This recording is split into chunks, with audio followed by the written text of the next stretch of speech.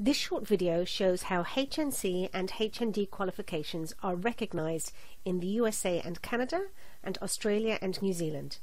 The leaflets shown can be downloaded from the links provided. By their own definition, NARIC is the UK's national agency responsible for providing information and opinion on academic, vocational and professional qualifications from across the world. Essentially, NARIC works on behalf of the UK Government to provide a range of advisory services that compare international and UK qualifications. UK NARIC provides the only official source of information in this regard. Pearson Edexcel are one of the largest international accrediting bodies.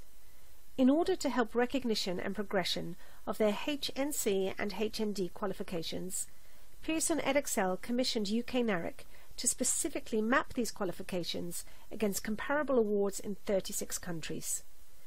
The report was commissioned to make it easier for universities and employers to confirm the levels of knowledge and the experience of prospective candidates.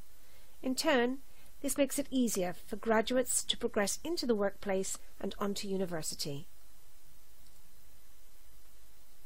This is a copy of the resulting document, which is available by PDF. The complete document is 19 pages long, and after the introduction, each country listed can be found in alphabetical order in the left-hand column. The Design Academy's HNC and HND programs are particularly popular in the USA and Canada, and also Australia and New Zealand. For this reason, we created a single-page summary PDF that shows how these qualifications map in those countries.